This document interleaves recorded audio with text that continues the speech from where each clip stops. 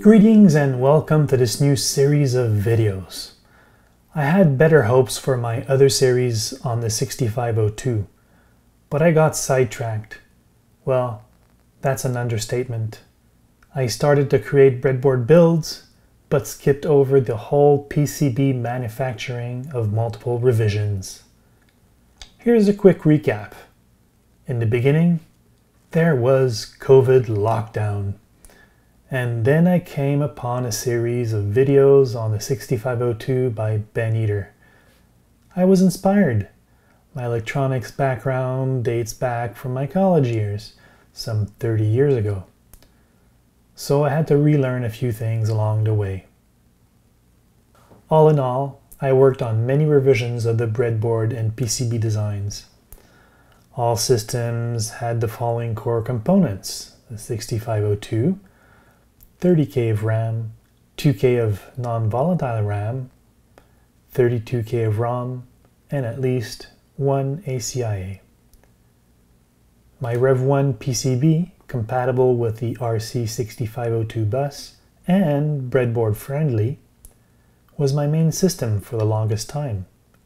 It had some flaws, like a reverse to reset switch, inverted the clock on the ACIA, and there was no power switch.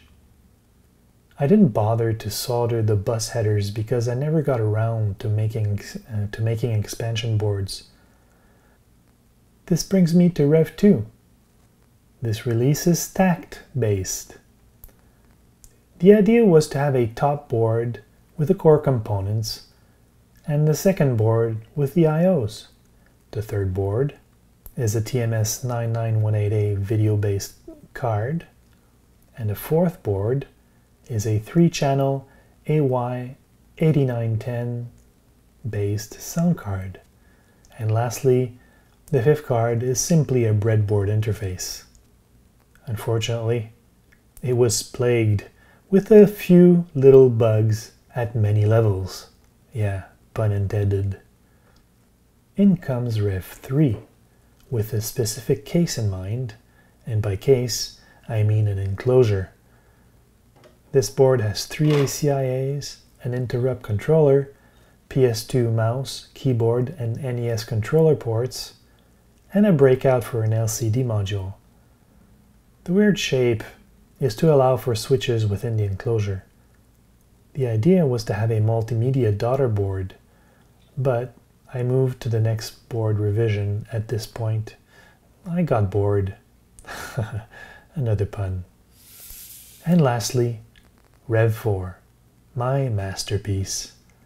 It's basically the same as Rev 3, minus one ACIA, but with the added TMS9918A video card chip, system, oh well, and a quad AY3 8910 sound chips, chips, multiple chips.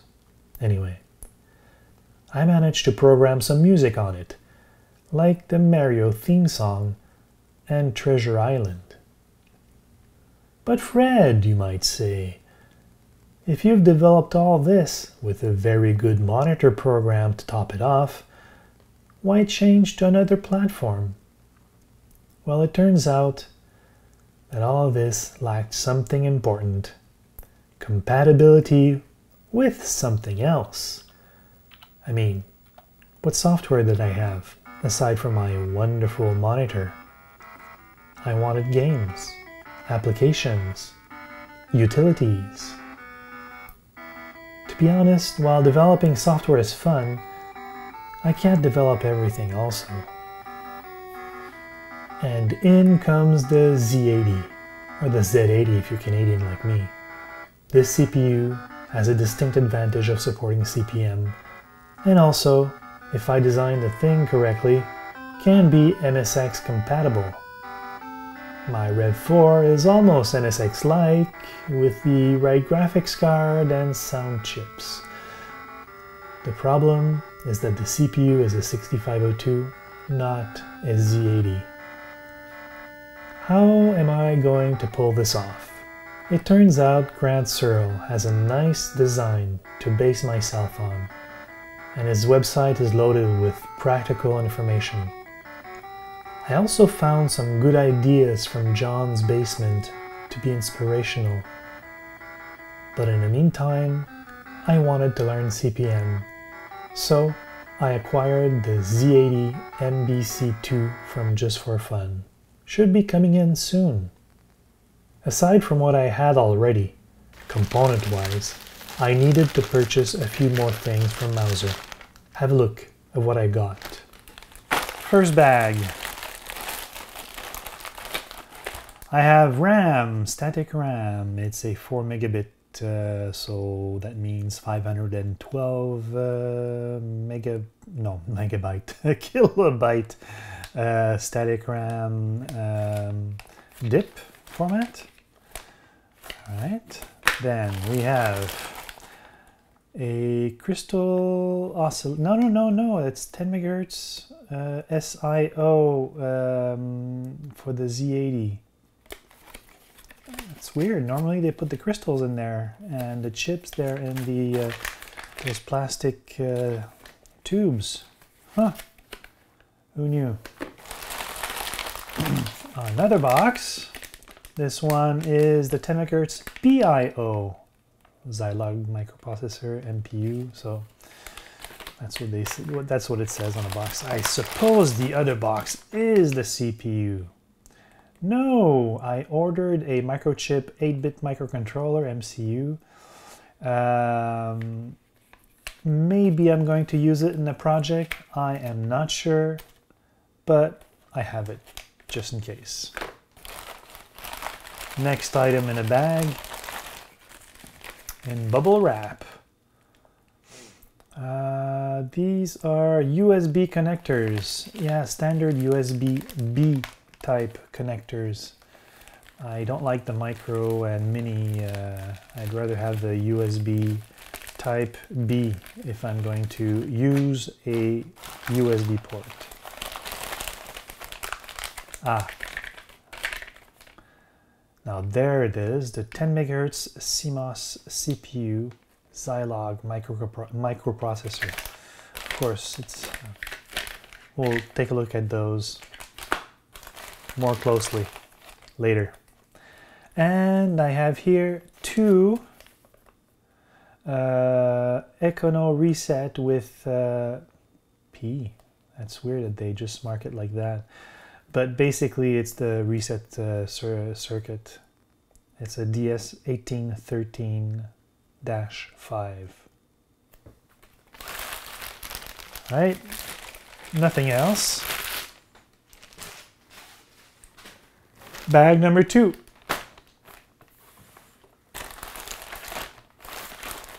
All right, let's see. What did I order? Now I have card frame for compact flash. Yes, because eventually I'd like to use a compact flash card. Maybe, well, I'll have it.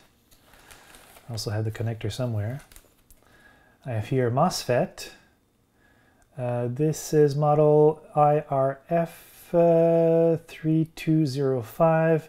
I believe that is a N MOSFET. I want to use a, I want to do a soft power on uh, circuit eventually, and I'm going to use a MOSFET instead of a relay. Now, what we have here? We have a 74 HC125 quad bus uh, buffer. What's the 125 again? I forget. Hmm. What did I? Oh, was it for the reset? No, it's not. I'll, I'll, I'll tell you later. Or maybe I just needed spares. Uh, what is this? Ah, more MOSFET. This one is the P uh, MOSFET, uh, P channel. This model is the IPP80P03P4. Uh, I need glasses. Well, I have glasses. They need to be better. All right, what's in there? Compact flash, memory card connectors. Uh -huh. I bought two. Did I? Yeah, I bought two. Interesting. Another box. Ah, oscillators. It would be the 14 megahertz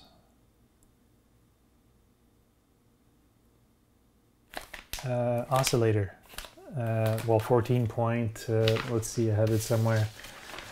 14.7456. So when divided, it'll be perfect for the SIO. I've got here, oh yeah, I have some uh, sockets for uh, oscillators, especially, especially made for oscillators. I don't know if you can see it. It's interesting, looks nice. Next in the back, ah yes, I needed some decoupling um, capacitors. So there we are.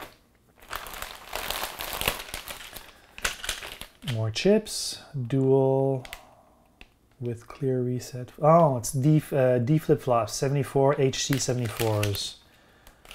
Always practical to have D flip-flops. And another big, huge quantity of electrolytic capacitors. They were cheap, 100 for cheap. Uh, yeah, there are Panasonic aluminum electrolytic capacitors, and they are. Oh, it doesn't say the value on the paper. Uh, if I yeah, 10 microfarads. Perfect for um, not smoothing, but when you need to have large capacitors strewn away on the board. All right, so that's basically it. I have more stuff, but one thing I wanted to talk to you about is what am I going to do with this Z80, that's Canadian, Z80 uh, is the uh, how I'm going to um, uh, do the format is it going to be a single board computer? Is it going to be stacked? But I figured I have a lot of these card edge connectors and they are exactly the same as um, uh, the IBM PC XT connectors. So that the 62 position, 31 on each side. And uh, I want to design a backplane with eight of those I purchased those from a um, local electronics store. They had a lot of them. They were really cheap, like I don't know, a dollar fifty each. And I probably have something like ten. So no, more than that. Sixteen, I think, or twenty. I think I can buy more just in case. Uh, but uh, it's actually cheaper there than it was to buy them new. But first, we have to start somewhere. So let's test the CPU. In the next episode, please help support this channel by subscribing and liking this video. Thank you and see you next time.